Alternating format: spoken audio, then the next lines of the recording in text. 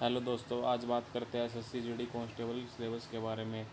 सौ नंबर का आपका पेपर होगा कंप्यूटर पर, जिसको चार सब्जेक्ट में डिवाइड किया गया है।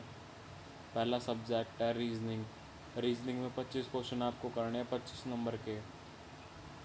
फिर सेकंड में आता है आपका जीए एंड जी इसके भी पच्चीस क्वेश्चन करने हैं जो कि पच्चीस नंबर के हैं। थर्ड में आएगी आपकी मैथ। पच्चीस क्वेश्चन इसके हैं पच्चीस नंबर के। चौथे में या तो आप हिंदी के साथ पच्चीस क्वेश्चन कर सकते हैं, या आप इंग्लिश के साथ पच्चीस क्वेश्चन कर सकते हैं, जो कि ये भी पच्चीस नंबर के ही हैं। टोटल मिला के आपका सौ नंबर का पेपर होगा।